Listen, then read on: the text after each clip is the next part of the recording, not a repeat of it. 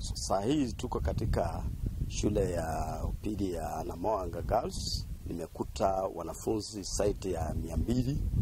wako nje ya gate, wamefungiwa nje ya keta kwa sababu walikuwa wamechelewa pamoja na wasasi wao, na boda zaidi ya watu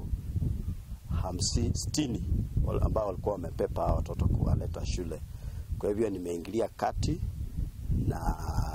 nikapigia alipigia principal simu nikamwomba aruhusu eh, geti ifunguliwe ili watoto waingie na mambo mengine tuongee baadaye. Na kweli yeye hata yeye hakushita, alikubali, akatuma deputy principal akakuja na wakafungua keti Kwa hivyo watoto wote wa, wa, tumeingia, tuko nao ndani,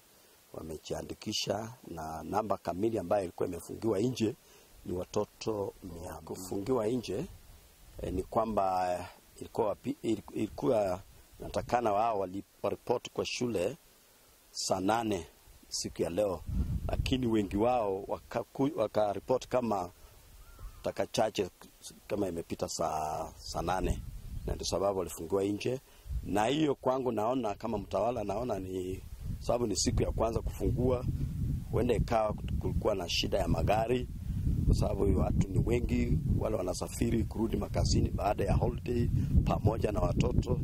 na hiyo ndio sababu naona kama iliwafanya wakuja kama wamechelewa, na nina ninatoa